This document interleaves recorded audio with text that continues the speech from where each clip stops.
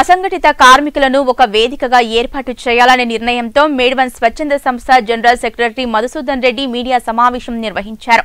ఈ సందర్భంగా ఆయన మాట్లాడుతూ భారతదేశంలో మొత్తం రెండు వేల సంవత్సరం నుంచి రెండు వేల ఇరవై రెండు వరకు గృహ కార్మికుల సంఖ్య పెరుగుదల కనిపిస్తోందని అందులో డెబ్బై ఒక్క శాతం ఆడవారే గృహ కార్మికులుగా పనిచేస్తున్నారని తెలిపారు.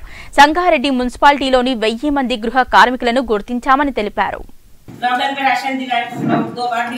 लॉकडाउन में राशन दिलाए हम लोग दो बार दिलाए और क्या बोलते हैं बच्चे हम लोग हमारी गुजारिश है हम लोग को डबल बेडरूम मिला करके भी है और सर हम एक मुसीबत से निकले सो है कि हमारे को शौक नहीं है काम को निकलने का मुसीबत से निकले हम लोग हमारे बच्चों को पालना है देखना है हमारे क्या है घर वाले पीते खाते आते एक पैसे की भी आती है हम लोगों को ఓ, ఎవరైతే మీడియా ప్రతినిధులు ఉంటారో వీళ్ళు కూడా ఎందుకంటే ఈ సమాజంలో వీళ్ళని పైకి తీసుకురావాలంటే వాళ్ళ పాత్ర కూడా చాలా కీలకంగా ఉంటుంది కాబట్టి వీళ్ళ ద్వారా గుర్తింపు తీసుకొస్తే పబ్లిసిటీ బాగలేదు. అంటే ఇట్లాంటి మనుషులు కూడా ఇట్లా ఇట్ల మీద పనిచేయాలి అంటే ఎట్లా వీళ్ళు ఒక దగ్గర యూనిటీ అవుతారా ఇవన్నీ చాలా ఇబ్బందులు ఉండే ఏదన్నా ఉంటే నిన్న మిగిలింది ఈరోజు తినండి.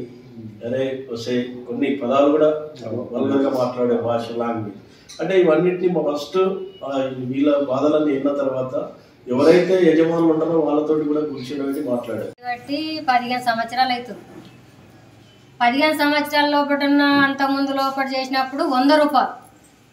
ఒక వంద రూపాయలకి ఏం పని చేయాలి? బట్టలు బాసన్లు అన్ని పనులు చేస్తే వంద రూపాయలు ఇస్తారు. ఈ వంద రూపాయల కాడ నుంచి చేసుకుంటా చేసుకుంటా చేసుకుంటా పోతున్నాం కానీ మాకు ఇట్లా డాన్సర్లు తెలియదు ఇది. ఎందుకంటే మాకు ఒక గుర్తింపు రావాలన్నట్టనే ఒక సార్ వలన తెలుసుకొని మేము ఏం చేసినామంటే ఒక డిమాండ్ లాగా మంచికి గింత తుడవాలి బాసన్లు బట్టలు వాకిలు. ఇన్ని పనులు చేస్తున్నాం. ప్రతి సంవత్సరం కన్నా వంద రూపాయలు పెంచు